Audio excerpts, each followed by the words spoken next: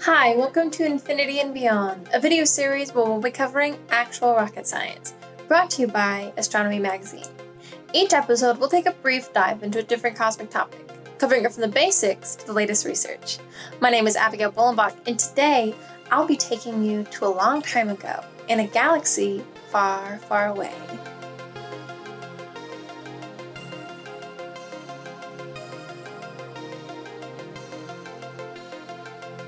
The Star Wars franchise has had a huge influence on society. With such an epic story and amazing technological advancements included in it, are there any aspects of this universe we can experience in our own? When Star Wars was released in 1977, it introduced the lightsaber, a weapon used by both the Sith and Jedi. These weapons employ a four foot long glowing blade of plasma and are powered by a fictional Kyber crystal, although we never learn much about how it works. They cut through even thick metal with ease, but two lightsabers will not pass through each other, which gives us unforgettable battles across the Star Wars franchise. How might lightsabers work in our world? Plasma is a unique state of matter. It occurs when atoms are stripped of electrons. As the electrons bounce around, they can cause the material to glow. This is what makes fluorescent and neon lights glow. So, could a lightsaber be a special kind of plasma tube?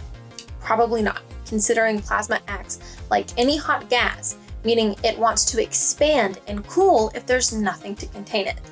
In 2013, researchers at MIT created a way to bind photons of light together, but even this doesn't actually recreate a lightsaber.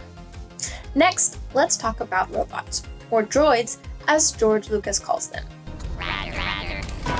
In Star Wars, droids such as C3PO and R2D2 are portrayed as intelligent, independent, and even emotional. But how close are we to making these droids a reality? The current state of artificial intelligence today requires most robots to receive commands directly from a human in order to function. Nonetheless, the field of robotics has made significant gains, with researchers making advances every day. Hanson Robotics' human like robot Sophia is one of the most advanced robots that exists. She can walk, talk, and even draw, and she is even considered a citizen in Saudi Arabia. But her functionality is still limited. For example, her speech is drawn from a library of pre written phrases. That's because creating robots that can understand and engage in natural conversation and problem solving is extremely difficult. Still, progress is ahead. Project Debater, developed by IBM, can successfully debate humans in real time by searching the internet for relevant information and phrasing.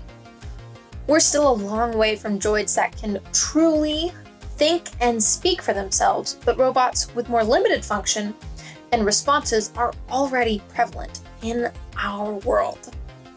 One of the driving forces in the 1977 Star Wars films is a holographic message recorded by Princess Leia. Help me, Obi-Wan Kenobi. You're my only hope. Similar holograms appear throughout the franchise.